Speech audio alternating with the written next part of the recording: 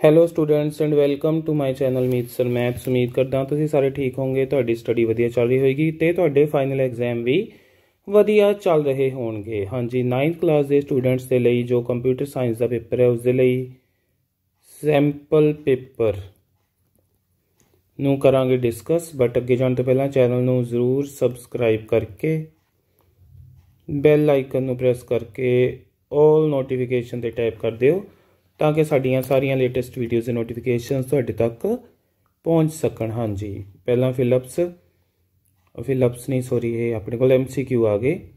Dash is a type of malware designed to provide unauthorised remote access to a user's computer Trojan workbook dash ਦਾ ਇਕੱਠ ਹੁੰਦੀ ਹੈ worksheets ਦਾ।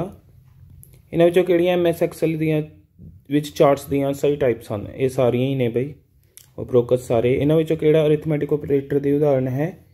Plus ਅਸੀਂ ਆਪਣੇ ਸੈੱਲਾਂ ਨੂੰ ਡੈਸ਼ ਆਪਸ਼ਨ ਦੀ ਸਹਾਇਤਾ ਨਾਲ ਗਲਤੀ ਨਾਲ ਹੋਣ ਵਾਲੇ ਬਦਲਾਵ ਤੋਂ ਰੋਕ ਸਕਦੇ ਹਾਂ। ਹਾਂਜੀ ਪ੍ਰੋਟੈਕਟ ਸ਼ੀਟ ਹਾਂਜੀ, ਉਹ ਵਿਅਕਤੀ ਜੋ DBMS ਨੂੰ ਪੂਰੀ ਤਰ੍ਹਾਂ ਪ੍ਰਬੰਧਿਤ ਅਤੇ ਕੰਟਰੋਲ ਕਰਦਾ ਹੈ ਉਸ ਨੂੰ ਡੈਸ਼ ਕਿਹਾ ਜਾਂਦਾ ਹੈ DBA ਅੱਗੇ ਖਾਲੀ ਥਾਵਾਂ। ਹੱਬ ਇੱਕ ਉਪਕਰਨ ਹੈ ਜੋ ਤੁਹਾਨੂੰ ਕਈ ਕੰਪਿਊਟਰਾਂ ਨੂੰ ਇੱਕ ਨੈਟਵਰਕ ਉਪਕਰਣ ਨਾਲ ਜੋੜਨ ਦੀ ਆਗਿਆ ਦਿੰਦਾ ਹੈ HUB ਹੱਬ ਰਾਸ਼ਟਰੀ ਲੈਵਲ ਦੀਆਂ ਈ ਗਵਰਨੈਂਸ ਸੇਵਾਵਾਂ ਭਾਰਤ ਸਰਕਾਰ ਦੁਆਰਾ ਪ੍ਰਦਾਨ ਕੀਤੀਆਂ ਜਾਂਦੀਆਂ ਹਨ।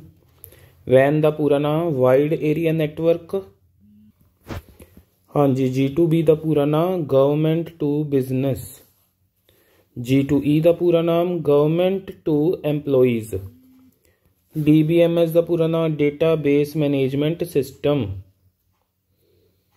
ਹਾਂਜੀ, ਅੱਗੇ ਆ ਗਏ ਆਪਣੇ ਕੋਲ। ਟਰੂ ਫਾਲਸ ਫੁੱਲ ਡੁਪਲੈਕਸ ਵਿੱਚ ਜਾਣਕਾਰੀ ਦੋਵਾਂ ਦਿਸ਼ਾਵਾਂ ਵਿੱਚ ਪ੍ਰਸਾਰਿਤ ਕੀਤੀ ਜਾ ਸਕਦੀ ਹੈ। ਸਹੀ ਹੈ ਜੀ ਇਹ।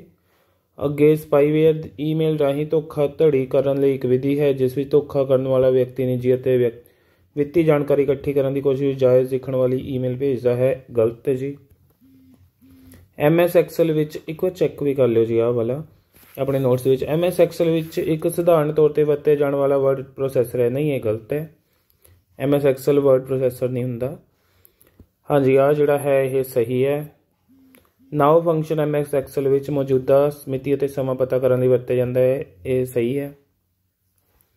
ਪੇਜ ਓਰੀਐਂਟੇਸ਼ਨ ਦੋ ਪ੍ਰਕਾਰ ਦੇ ਹੁੰਦੇ ਹਨ ਪੋਰਟਰੇਟ ਅਤੇ ਲੈਂਡਸਕੇਪ ਸਹੀ ਹੈ।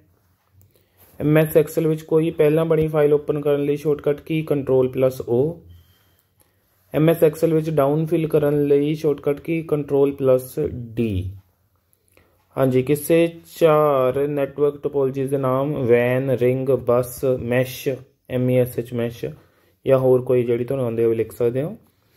ਅੱਗੇ ਪ੍ਰਸ਼ਨ ਹੈ MS ਐਕਸਲ ਨੂੰ ਪਰਿਭਾਸ਼ਿਤ ਕਰੋ। ਅਗਲਾ ਹੈ ਅਲਾਈਨਮੈਂਟ ਅਤੇ ਇਸ ਦੀਆਂ ਕਿਸਮਾਂ ਦੀ ਵਿਆਖਿਆ ਕਰੋ ਜਾਂ ਫਿਰ ਫਾਰਮੈਟਿੰਗ ਤੋਂ ਤੁਹਾਡਾ ਕੀ ਭਾਵ ਹੈ? ਹਾਂਜੀ, ਇਹ ਕੁਐਸਚਨਸ ਜਿਹੜੇ ਆਪਾਂ ਆਨਸਰਸ ਨਹੀਂ ਕਰ ਰਹੇ ਡਿਸਕਸ ਉਹ ਤੁਸੀਂ ਆਪਣੇ ਨੋਟਸ ਦੇ ਵਿੱਚੋਂ ਯਾਦ ਕਰ ਸਕਦੇ ਹੋ। ਐਕਸਲ ਵਿੱਚ ਵਰਤੇ ਜਾਂਦੇ ਗਣਿਤ ਆਪਰੇਟਰ ਹਾਂਜੀ ਪਲੱਸ ਮਾਈਨਸ ਡਿਵੀਜ਼ਨ ਤੇ ਸਟਾਰ ਜਿਹੜਾ ਹੈ ਮਲਟੀਪਲੀਕੇਸ਼ਨ ਲਈ ਵਰਤਦਾ ਹੈ। ਇਹ ਨੰਬਰ ਲਿਖ ਦੇਣਾ ਤੁਸੀਂ। ਜਾਂ ਐਮਐਸ ਐਕਸਲ ਵਿੱਚ ਸੋਰਟਿੰਗ ਕੀ ਹੁੰਦੀ ਹੈ? ਮਾਰਜਨ ਤੋਂ ਤੁਹਾਡਾ ਕੀ ਭਾਵ ਹੈ? ਹਾਂਜੀ ਮਾਰਜਨ ਜਿਹੜਾ ਆਲੇ ਦੁਆਲੇ ਛੱਡਿਆ ਜਾਂਦਾ ਹੁੰਦਾ ਪੇਜ ਦੇ ਉੱਪਰ ਨੀਚੇ, ਉਹ ਮਾਰਜਨ ਹੁੰਦੇ ਨੇ। ਡੇਟਾਬੇਸ ਨੂੰ ਪਰਿਭਾਸ਼ਿਤ ਕਰੋ। ਅੱਗੇ ਭਾਗ ਈੜੀ। ਸਾਈਬਰ ਕ੍ਰਾਈਮ ਕੀ ਹਨ? ਸਾਈਬਰ ਕ੍ਰਾਈਮ ਦੀ ਰੋਕਥਾਮ ਦੇ ਉਪਾਅ ਲਿਖੋ। ਜਾਂ ਗੂਗਲ ਐਪਸ ਕੀ ਹਨ? ਕਿਸੇ ਵੀ ਦੋ ਗੂਗਲ ਐਪਸ ਦਾ ਵਰਣਨ ਕਰੋ। ਅੱਗੇ ਚੰਗੀ ਗਵਰਨੈਂਸ ਦੀਆਂ ਮੁੱਖ ਵਿਸ਼ੇਸ਼ਤਾਵਾਂ ਲਿਖੋ ਜਾਂ ਫਿਰ ਈ ਗਵਰਨੈਂਸ ਕੀ ਹੈ? ਈ ਗਵਰਨੈਂਸ ਦੇ ਚਾਰ ਮਾਡਲਾਂ ਦੀ ਵਿਆਖਿਆ ਕਰੋ। ਸੋ ਇਹ ਸੀ ਜੀ 9th ਕਲਾਸ ਦੇ ਸਟੂਡੈਂਟਸ ਲਈ ਉਹਨਾਂ ਦਾ ਕੰਪਿਊਟਰ ਦਾ ਪੇਪਰ ਦੇ ਲਈ ਸੈਂਪਲ ਪੇਪਰ ਹਾਂਜੀ, ਮੇਰੇ ਵੱਲੋਂ ਬੈਸਟ ਵਿਸ਼ੇਸ ਨੇ ਬਈ, ਵਧੀਆ ਤਿਆਰੀ ਕਰਕੇ ਵਧੀਆ ਮਾਰਕਸ ਲਓ। ਚੈਨਲ ਨੂੰ ਜ਼ਰੂਰ ਸਬਸਕ੍ਰਾਈਬ ਕਰ ਦਿਓ। ਵੀਡੀਓ ਨੂੰ ਲਾਈਕ ਕਮੈਂਟ ਤੇ ਸ਼ੇਅਰ ਕਰ ਦਿਓ।